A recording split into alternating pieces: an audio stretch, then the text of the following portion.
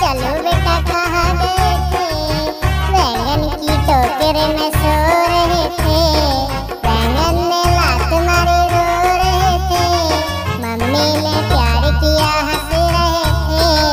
पापा ने पैसे दिए ना